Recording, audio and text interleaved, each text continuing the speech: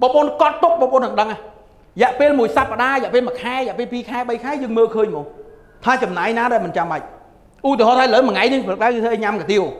ញ៉ាំកាទៀវ5ដុល្លារ7ដុល្លារអញ្ចឹងទៅថ្ងៃនេះកាហ្វេទៀតណា8ដុល្លារ3 4ដុល្លារអញ្ចឹងទៅចាក់សាំងឡានទៅជួបមិត្តភ័ក្តិ30ដុល្លារអញ្ចឹងទៅល្ងាចឡើងញ៉ាំកាហ្វេទៀត20ដុល្លារទៀតអញ្ចឹងទៅជប់លៀងមួយមិត្តភ័ក្តិប្រហែលដុល្លារទៀតអញ្ចឹងទៅ អញ្ចឹងគាត់ពេលរៀងកត់ត្រាយើង detail ហ្មងដើម្បីឲ្យជួបដើម្បីអីនៅពេលមួយចំនួនបងប្អូនកត់ត្រាខ្ញុំធានាថាបងប្អូននឹងឃើញកហ៊ូហ៊ូហ្មងឃើញថាយើងចាយមួយចំនួនអត់ចាំបាច់ចាយអត់ចាំបាច់សោះមករឿងខ្លះចាយអត់ចាំបាច់ហ្មងខាតទាំងសាំងឡានចាយអត់ចាំបាច់បើយើងមានលុយច្រើនខ្ញុំមិនមែនប្រកបបងប្អូនអត់ឲ្យចាយអានឹងបើសិនបើគេយកឃ្លីបខ្លីៗទៅទៅដែរគេថាអូរៀនឲ្យមិនឲ្យចាយលុយហ្នឹងមិនមែនទេយើងកំពុងជពាក់គេឃើញថាយើងកំពុងនិយាយរឿងជពាក់គេណាអត់តាន់ប្រធានបទហ្នឹងមិនមែនហ្នឹងរៀនមួយលោកគ្រូហើយ អត់ឲ្យចាយលុយឲ្យចាយ100%តែយើងនិយាយកំពុងជពាក់គេ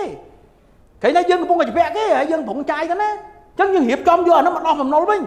ចុះណាយើងយកអាលុយដែលយើងបានចាយខ្ជះខ្ជាយកន្លងមកហ្នឹងយកមកដោះស្រ័យបំណុលយើងអាចដោះស្រ័យបំណុលបាន